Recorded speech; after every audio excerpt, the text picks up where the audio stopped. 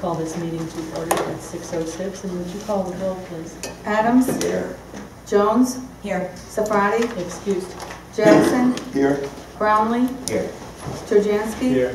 A.G. Here. Albers. Here. Our first uh, piece of legislation, 2014-21, is the um, medical uh,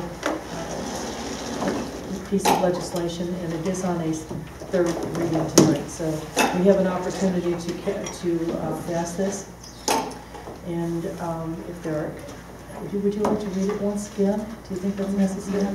Just go ahead and read it once. Ordinance, yeah, ordinance number 2014-21, an ordinance amending section 26009 of the codified ordinances, amending the medical, dental, and vision care insurance, employee contributions, and authorizing the mayor to enter into an agreement with Medical Mutual Health Care pertaining to group medical insurance for the non-union full-time employees and declaring an emergency. Now, I'm going to ask for discussion for the final time. Is there any- All right, Yeah, Madam President, one, one moment, let's, mo- we can move first if we want to do it that way. Make a motion, please, to approve, to adopt, to adopt, I'm sorry. May I have a motion to adopt? so, So, second. Okay, discussion, please. yeah, I just have one or two questions, Mayor. Yes. On the healthcare work, Irene. Uh, It says that we got, they're gonna be paying a hundred dollars increase. What are they paying now? You know, seventy-five, is it? It just- It actually on the legislation, Alex, it showed where it was crossed off and the increase. So wasn't that what they were originally paying? on the bottom, The on the bottom of The the, seventy-five, a hundred, for on the bottom of the medical plan, it said, uh, employee contribution would also be increasing to one hundred dollars for single, individual single coverage, and two hundred for family coverage per month. Right, That's what it says. right. Find it? It's on the Yeah, first yeah. page. I'm looking for it, but yeah, I've read it. Do you know, Mayor? Well, I have on the, uh, the um, memo that came out on March 10th, are you talking about the out-of-pocket? Uh, No, sir. I'm talking about the employee contributions will increase hundred dollars a month for single and two hundred for family. The single is now seventy-five, so it's going up to a hundred, up to a hundred, up to, a- in fact, it's twenty-five dollars more. twenty-five more. Right. Okay. And if I'm not mistaken, I think the family's a hundred and fifty It's dollars. hundred and fifteen. And so it'll be increasing by fifty dollars, take it to two hundred dollars. Yes, ma'am. Thank you. You're welcome. And are we gonna be offering a, a cop-out, opt-out to employees, say they're in the plan and they wanna go with their husband or wife plan, or go to another plan on their own? We, we have in the past, and we've had employees do that in the middle of the year. In fact, they have opted out and gone on their spouse's plan. So the answer to your question would be yes. You don't know how much they get if they opt out? Do we pay them like a bonus or? uh, I believe it's opt-out 150 Um, a month for a family, and I think if you're single, it's, it might be 100, it's a little less, I think. Thank you. You're welcome.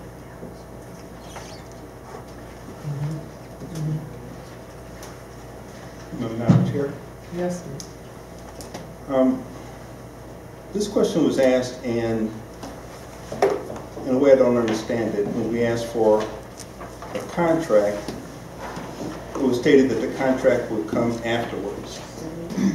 I I have an, I have an issue with that. I don't know if anything that you agree to or sign up for without the ability to have some type of writing in your hand stating what's going to be in the contract. Is that something that's normally done per se, or um, That just, is that the norm? That is the norm. Madam President, if I could Yes, answer the councilman. Um, This, this memo, which was passed out on March 10th, basically tells you everything which is changing. Now, it's very common practice that anytime we, we go out for quotes or RFPs or RFQs or bids, when you have it ratified by city council in legislation form, a contract always comes later. Contracts are very thick, as I'm sure you know. They're usually bound in a booklet and it has much, much detail. Now, that's for any service that the city provides, whether it's a, a public improvement or, uh, in this case, medical insurance or anything. You know, the contract itself with, with all of the detail always comes later. Okay. But there's normally something more than just um, a few paragraphs. Now, this is based on the last contract, and these are the only things that's changing in what the original contract was, and you're just changing this part? This is the, the health insurance that's being offered. So it's, it's changed, Uh, obviously it's changed a lot. But every city council for the last 20-some years passing legislation, contract comes later. The actual thick contract booklet that explains everything. you do, you do have this, don't you? Yes. That, that explains the basic uh, differences in cost, right? Okay. Yeah, at my job, they give us that and they just consider that a quote. And that just tells you, you know, whatever, but we're not, are we changing our carrier too? Or is it- Medical mutual still the mhm. same. Yeah, so we're just changing rates. Right. Okay, but that was one of the things I asked you. The basic contract is the same, but the only thing that's changing, or what we see here is, is the rates. I, I can tell you, you know, Mr. Jackson, I understand, you know, your, your question. I, myself, I mean, when I became an elected official, I was always amazed at every year how the city's health insurance changed. Carriers and providers and in-network, out-of-network. I mean, I was in a union, probably like you were at one point, where on a three-year contract, the insurances were the same for that three-year period. But unlike public or, uh, you know, in, in this line of work, it's, it can change every year. Which, you know, is like, you may go to one doctor one year, and then next year you're told, oh, out of network, you can't go there, you gotta go somewhere else now. You know, it's, it's a totally different animal. And I think uh, we talked about this uh, previously, eventually with all of the unions coming in, the anticipated savings was looking at four hundred forty thousand. thousand. We've already pitched the, the bill to the unions once. A couple of the unions have already had it, Uh, a couple of meetings, we've talked about it with them, so. The Teamsters and the mechanics. And as we said before too, this is um, going to be going into effect ninety days after the mayor signs it, so that's thirty days from now if we pass whatever we do tonight. It won't go effect till June first per Obamacare, all insurance changes Correct. June Right, first. so we've got plenty of time, and then we'll be back at the table again. So it could be an interim kind of plan. Any other further discussion, Uh, questions? Go ahead. Ed. President, Mayor. Yes. uh, Dental and the vision stays the same. Is that the same? It's in in this plan currently, yes. Okay.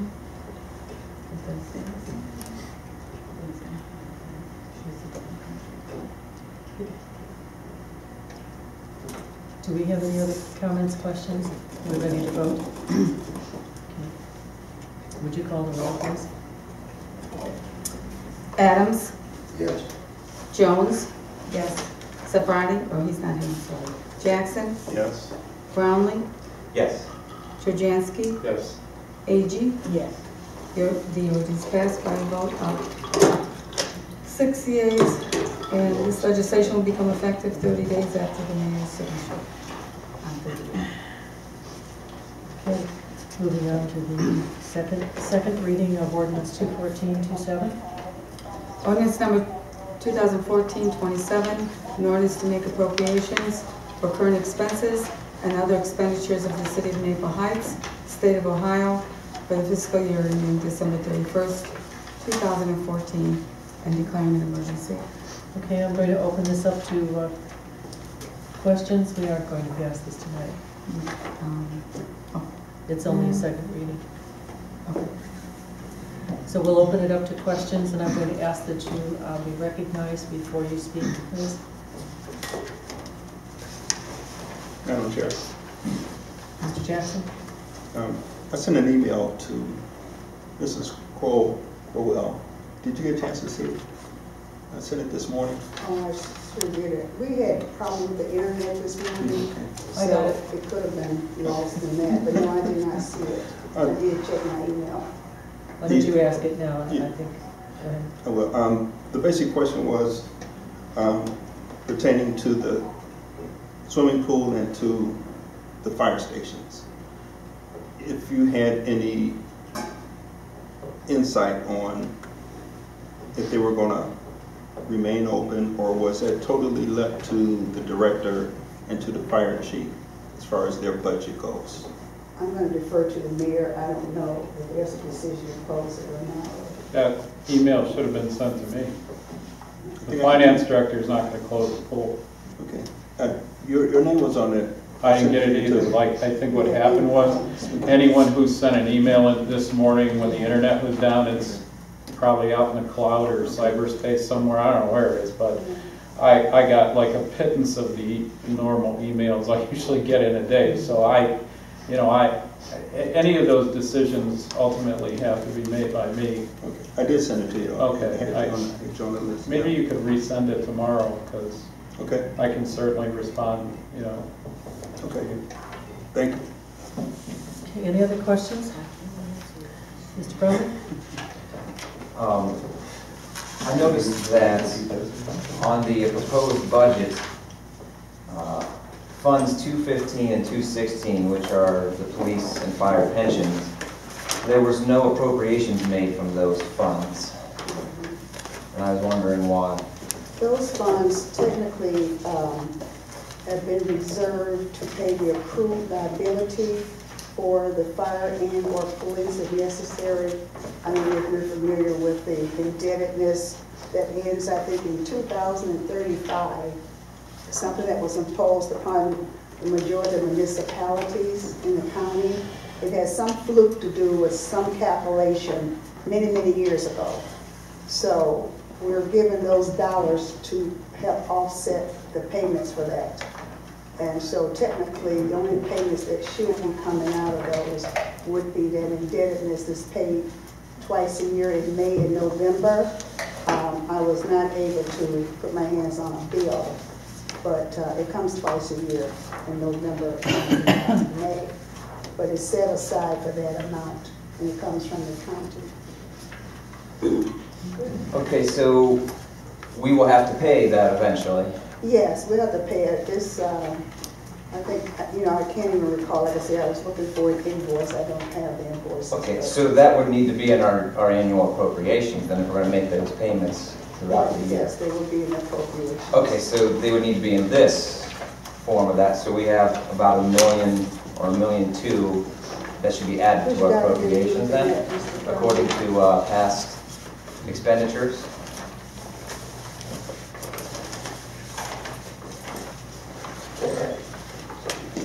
Madam Chair? Just a moment, please. just a moment, please. Yeah, I just wonder, I'm trying to figure out where he is. um, I think it's probably on page nine or ten, eight or It's, nine. um, funds two fifteen, sixteen? Two fifteen and sixteen. It's right here. On the first page. First page, It's on page eight of the The bottom appropriations. of the first page. bottom of the first page. In revenue.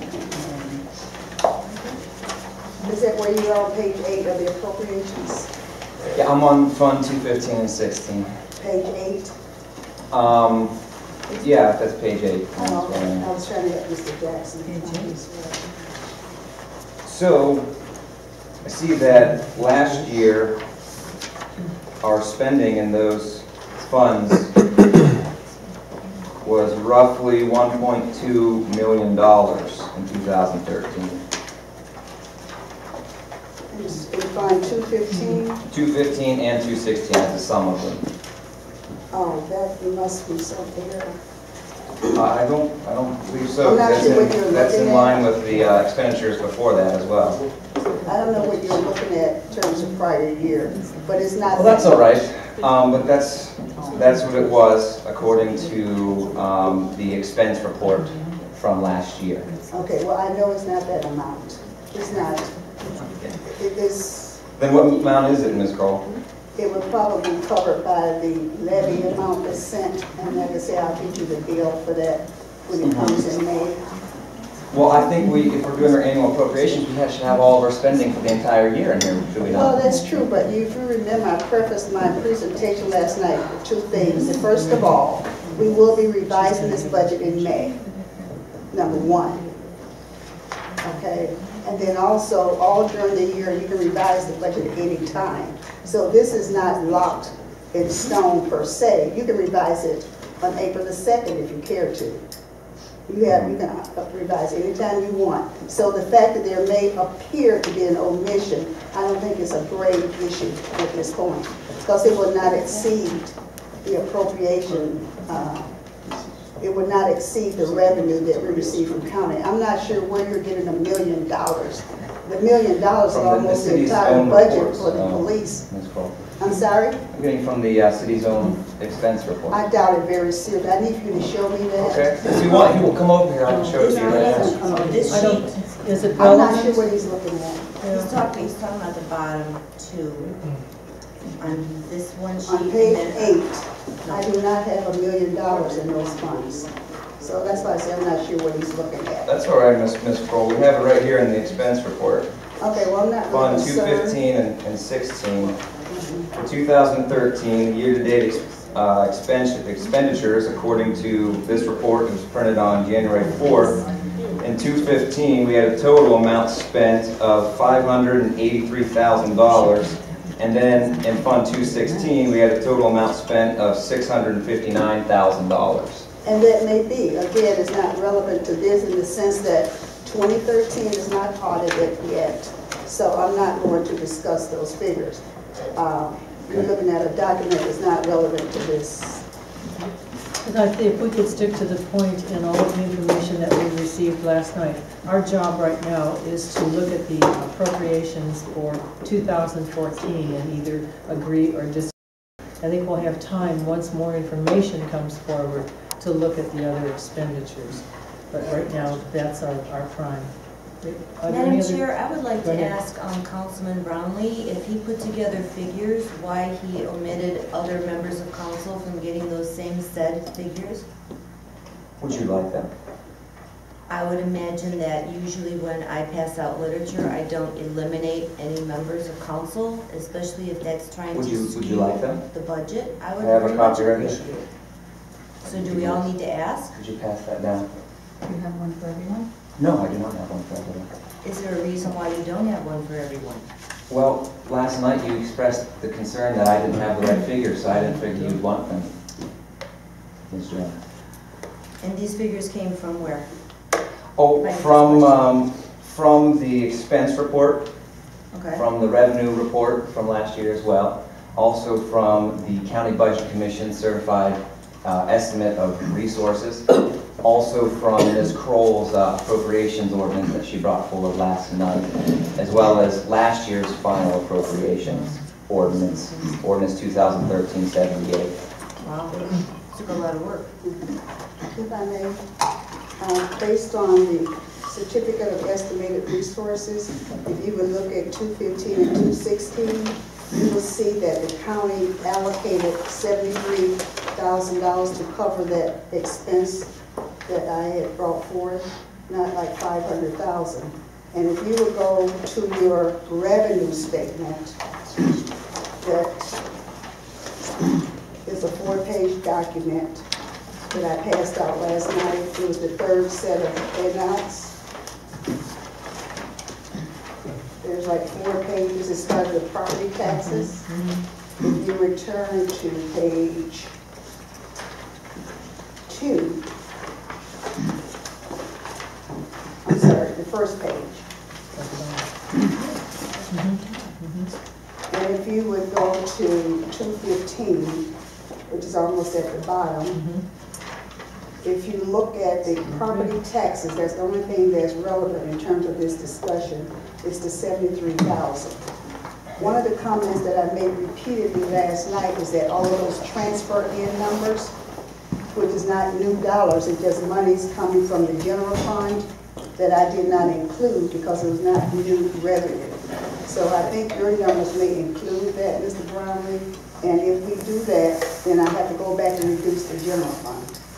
So I think that's that's not exactly the point of the whole discussion, is that if we, uh, if we deflate one number, it makes us feel like we can inflate another expenditure. So my concern is that we're not looking realistically at the expenses of the year so that we can bump up other numbers. And then whenever those payments come due, we'll, we'll revise our, our expenditures as we have done in past years to increase them so that we finally cover, hopefully, all of our bases. I don't believe that's the appropriate way to go about uh, budgeting for any organization, especially not an organization such as ours, a uh, city, a public government. So I would say that we need to look uh, a little more closely at the expenditures that we had last year and every year previous, and compare those expenditures and, and make sure we don't neglect um, any of them to our own detriment.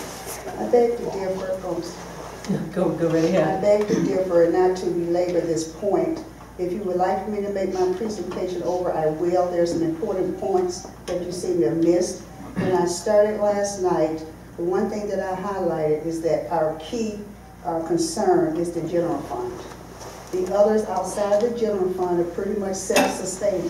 Money comes in and money goes out, and I remember there was a question or a comment that if there was any residual, that we could use that, and I especially said no, because it- once it started with 201 going forward, were either designated funds or restricted.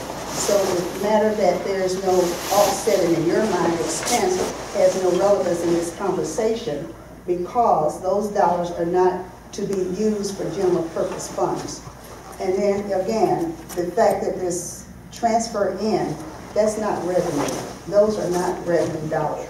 Those are what you would call paper entries.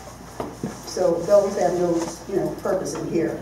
Um, what I did is to show you what the property taxes are, which is the seventy-three thousand. That's the amount as I stated, which are highlighted on the estimated that the county give to us, and those numbers have to be commensurate with each other. So I don't think your points are valid or relevant to this discussion. Thank you, thank you very much. I think uh, uh, in looking over the uh, budget and comparing it to uh, some of the allocations that we had last year, there have been significant cuts, and uh, we know there have been cuts in many different ways, but it looks like we're holding our, um, our overtime down, and it looks like we're, most of the departments are, are holding their own with the minimum. So, are- are there any other questions? Alex? Yeah, Irene, more or less what we're doing is the way I see it, is I'm sorry.